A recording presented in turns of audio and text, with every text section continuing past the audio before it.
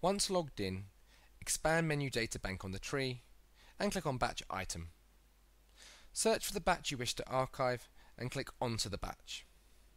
First, check that the batch is not an ingredient in another batch or menu item. Select the Recipe Usage tab. This will show you if the batch is contained in either. If the batch is in a menu item or another batch, you will either need to update the recipe so that the batch is no longer an ingredient, or archive that menu item or batch if it is no longer active. Once the batch is no longer an ingredient, you can then archive the batch item from site. Click on the Where Used tab and then click on Archive Batch Item from Site. In the F&B Manager pop-up window, expand any units to see which sites the batch is allocated to. A red cross indicates that the batch cannot be archived from that site. This may be because there's an opening quantity of the batch in the current period. If the box next to the site is empty, then the batch can be archived from that site.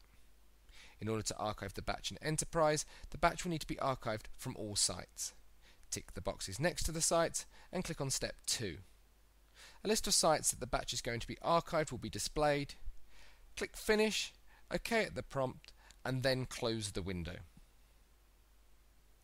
Now displayed on the Where Used tab will be a Y under the Archive column next to the sites. To archive the batch in Enterprise, click on the Edit Batch item. At the bottom, select Archive Batch.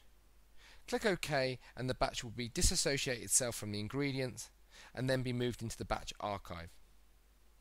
If you need to retrieve the batch at a later date, click onto the batch archive and search for the batch. By clicking on Restore this batch, the system will then ask if you wish to put the ingredients back into the batch. Tick the boxes of required ingredients and then click on Next. The system will then ask if you wish to allocate the batch back to the sites that it was archived from. Tick the sites you want the batch to be allocated if required and click Step 3. The system will show you the list of ingredients being restored to the batch as well as the site it is being allocated to. Click Finish and the batch will now have been restored.